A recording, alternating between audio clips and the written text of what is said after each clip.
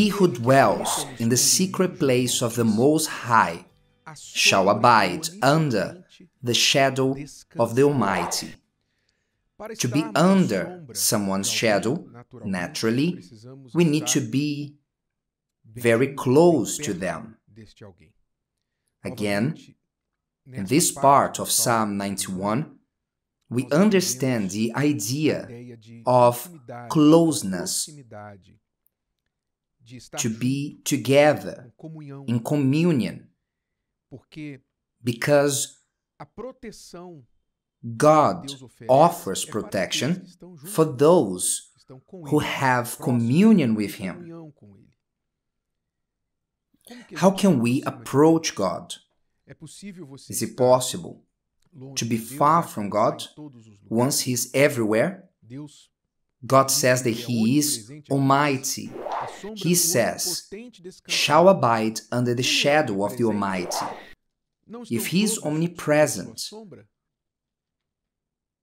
aren't they all under His shadow? Not necessarily. Why? Because God's omnipresence does not mean that the person is accepting his conditions that he may interfere in their decisions. It's important. The human beings, you must understand something sacred that God gave to the human being, which not even him interferes with, called one's own will. When you were born, you were given a will of your own, and this will is developing since you were a child. And when the child reach adolescence, they want to express the independence of their will. This process is quite frustrating for most parents because as long as the child is a kid, basically we control the life of the child completely. What they eat, what they dress, where they go, but they get to an age that they learn that they have their own freedom, and we can no longer control them. And then the frustrations begin of all parents, usually mothers.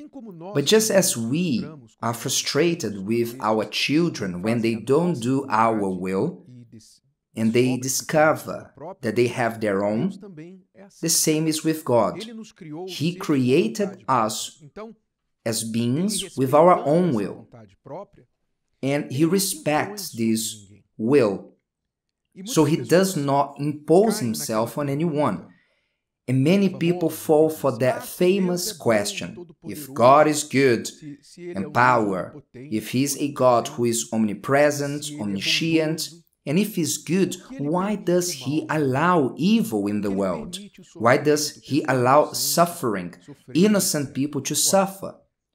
Well, it seems like an intelligent question, but it isn't when you understand that it's incompatible with having the freedom to do what you want and at the same time having a God who protect you from that freedom.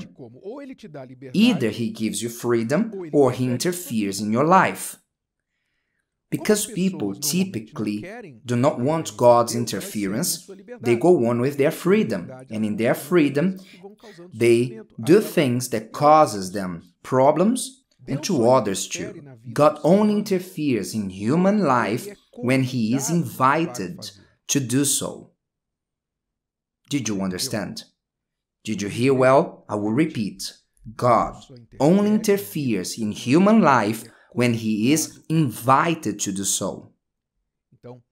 So, if you want to be under the shadow of the Almighty, you must make yourself close to God by deciding to surrender your will to Him and be close to God so that He has access to your life, that He may interfere in your life allowing Him not only in moments of danger, in moments that you need help, but at all times.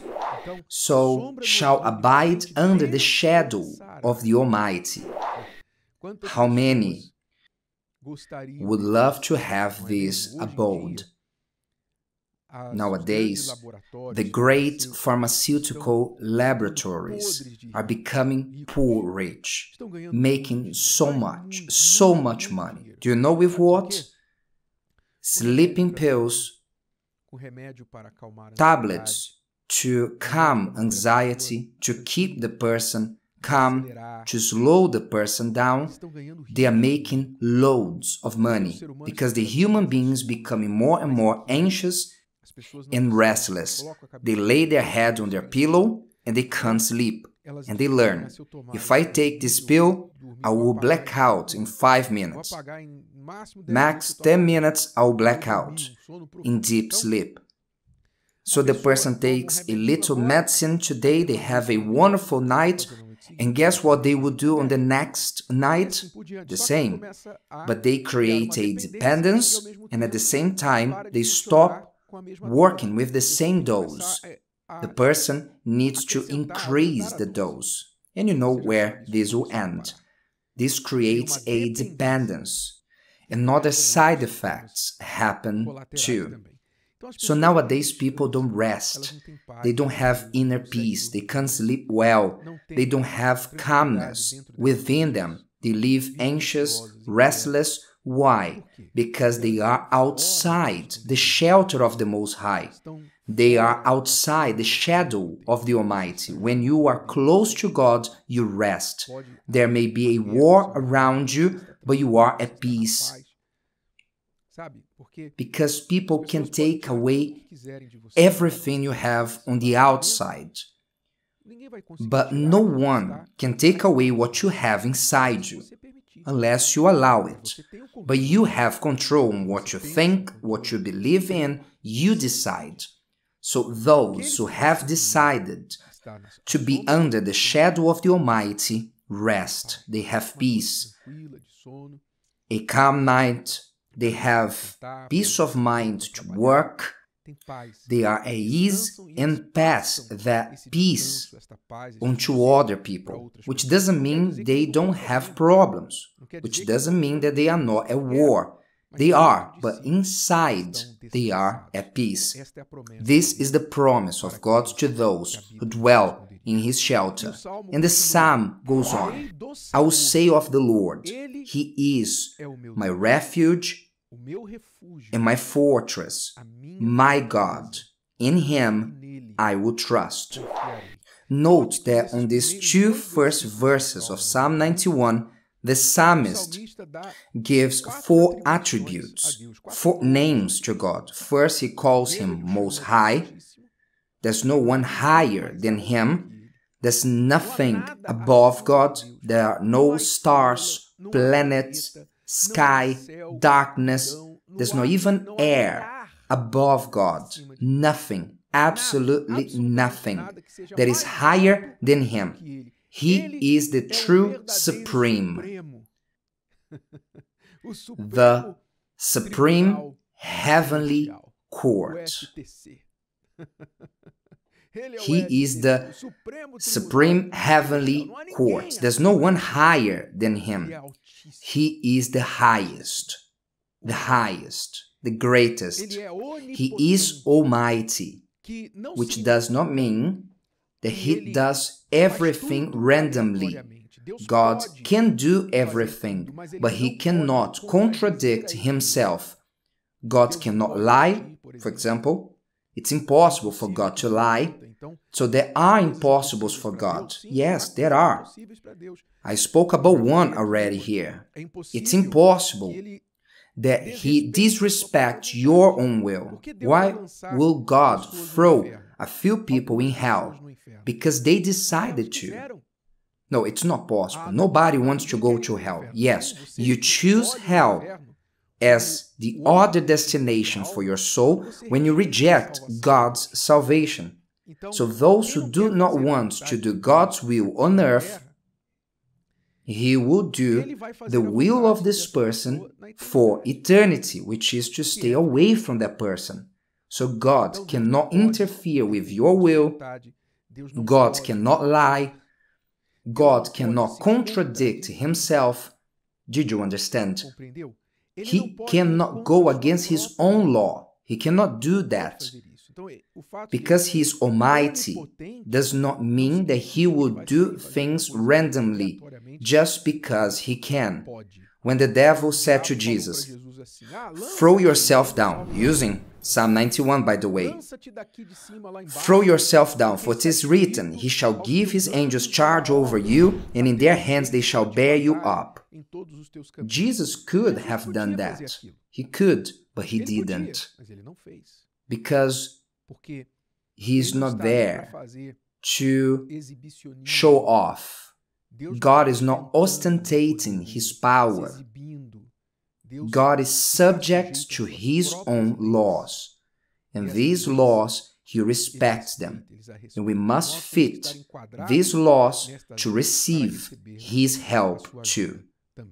So, Most High, Almighty, Lord, I'll say of the Lord, a common name used anyhow out there. The people do not understand that God is Lord. Lord of whom? Those who are His servants. God is Lord of those who serve Him. Jesus said, Not everyone who says to me, Lord, Lord, shall enter the kingdom of heaven. Because they say, Lord, Lord, but they don't do what I ask. So if you don't do what God asks, He's not your Lord. Do not forget this. He is Lord of those who obey him. And the fourth, He is my God. He is my God. There's no other God but Him. There's no Mary, John, Muhammad.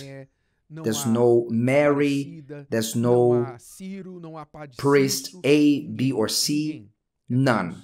There's only God. He's the only Lord. My refuge, my fortress, in Him I will trust. So if you haven't chosen Him as your Lord, only and true God, do it. Because if this is not true in your life, forget the rest of Psalm 91. Do not recite beautiful words just because they sound nice. These words are true.